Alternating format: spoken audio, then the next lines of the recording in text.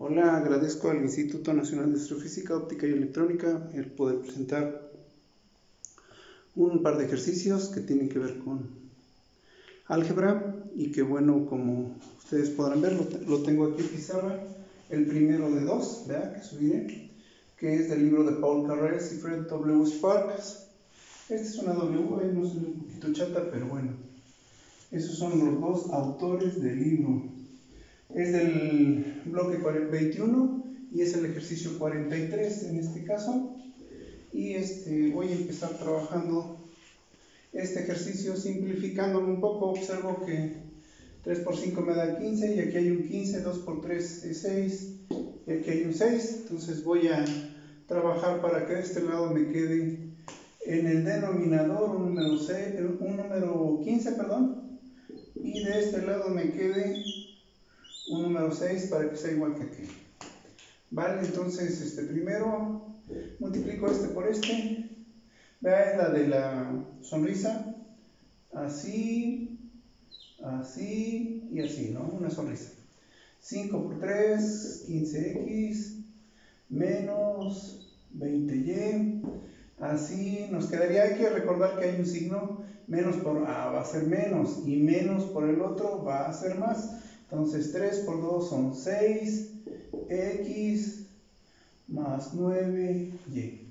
Y ya nos quedan sobre un mismo número, nos va a quedar 7 sobre 15. Y en este momento ya puedo eliminar el 15. ¿Sí? ¿Por qué los puedo eliminar? Porque pues, lo puedo pasar multiplicando y se elimina. Okay. Entonces vamos a trabajar con este.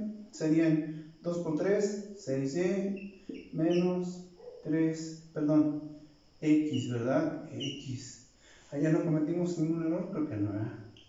Ok, bueno, ahora eh, por este, como es un símbolo más, todos son iguales, es más y es más. Mm, serían 2 por x, 2x, y 2 por 5, 10y, ok. Y eso es igual a cuánto? Pues a 23 sextos. Ya que lo tengo así, pues ya puedo eliminar sexto de acá y sexto de acá. Y ya nada más lo que me queda pues es la, la simplificación. Y con eso pues ya tendríamos una ecuación un poquito menos compleja para trabajar. Digo acá, los restos son 9x, estos dos me va a dar menos 11y. ¿Sí? Eso es igual a 7. Ay, se ve más bonita, ¿verdad? Bueno, ok. En este caso es 8x. Estoy haciendo estos, a ver si los ubican. ¿Sí? Este es un símbolo menos. Lo voy a testar arriba, lo voy a testar arriba para que lo observen. Y entonces me queda 10 menos 3 sería más 7. 7y igual a 23.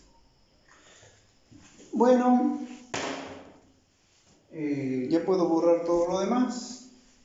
¿Sí? Espero que hasta ahí no hayamos cometido ningún error y que ustedes le vayan entendiendo qué hacemos, ¿vale? Bueno, yo quisiera que uno de estos se pareciera al otro. ¿Para qué? Para poder eliminarlo. Voy a hacerlo con Y. ¿Sí? Voy a hacerlo con Y y voy a eliminar una y para poder resolver esto. Entonces, lo que hago es que arriba lo voy a multiplicar por 7. 7 por 9 son 63x. Menos 77y. Y eso es igual a 7 por 7, 49. O sea, todo esto lo multipliqué por 7 y esto también. Luego, en el caso de abajo lo voy a multiplicar por 11, me va a dar 88 x y claro, este, por 11 me da 77 y. Y este es 23 por 11. Eh, si han visto cómo se multiplican, se pone el 3 acá, se pone el 2 acá y en medio se pone el, bueno, están quedando separados. Eh, la suma son 5, y ese debería ser 253. Eh, lo hacemos para que no haya mucho, mucha bronca. 1 por 3, 3, 1 por 2, 2, 1 por... Eh, 1 por 3, 3 y el 2 y nos da lo que decíamos, ¿verdad?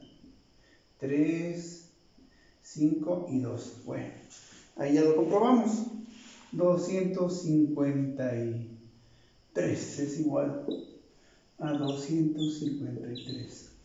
Bueno, ya que está simplificado de esa manera, ya puedo proceder a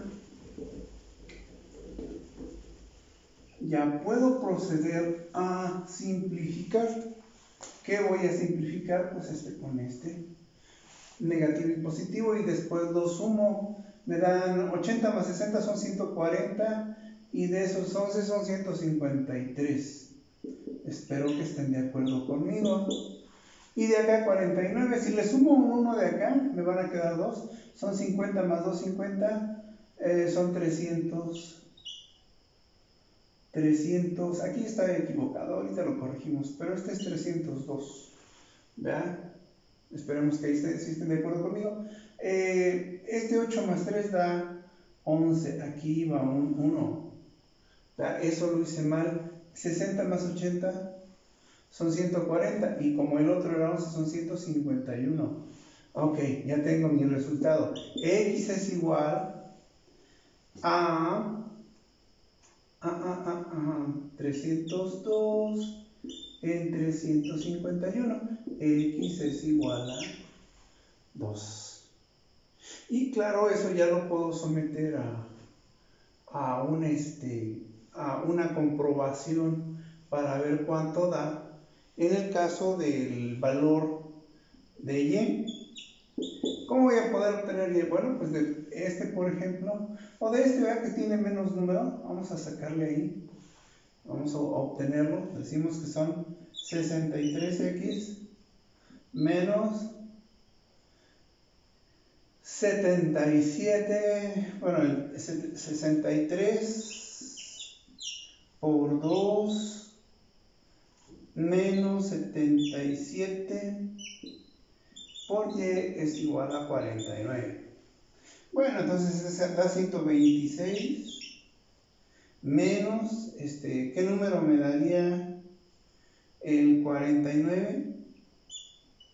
Eso es lo interesante, ¿ah? Bueno, eh, este lo puedo pasar restando, ¿verdad? Pero eso lo voy a hacer en un momento. 77y, lo dejo ¿Cómo está?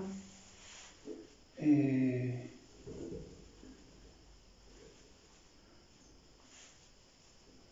vamos a hacer espacio para poder trabajar. Si son 49, son 126. Eh, va a pasar como negativo, pero ahorita voy a ponerlo abajo porque es más grande nada más. Eh, son 9 para 16, 7. Y vamos una, serían 5 para 12, 7. Y vamos una y pues hasta ahí quedamos, ¿verdad? Son 77.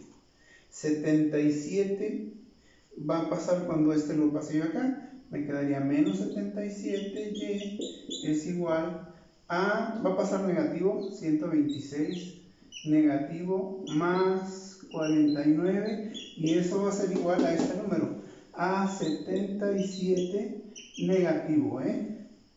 ¿Qué podemos observar de aquí? Bueno, que si es eso, digo que y es igual a menos 77, este valor entre este entre menos 77. Ya podemos observar. ¿A cuánto es? No, pues claro, a 1 positivo.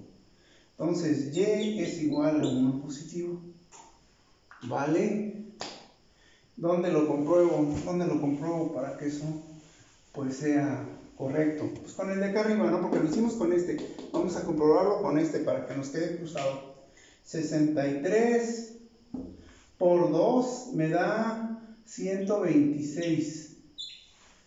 126. Este, este, lo puedo poner acá, 63 por 2, menos 77 por 1. Y eso debe ser igual a 49. Para que eso, digamos que ya quedó correcto, ¿no?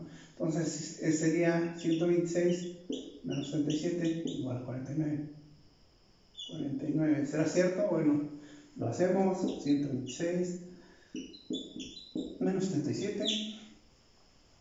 7 para 6, 9. Vamos una, serían 8 para 12, 4. Comprobado. Hemos encontrado el resultado. Y estas son la respuesta de nuestro ejercicio de resolución de nuestra ecuación de 2 por 2. Aunque se vea muy, se vea muy fea, ya tenemos el resultado. Gracias por ver. Los veo en su próximo video. Espero que lo hayan disfrutado.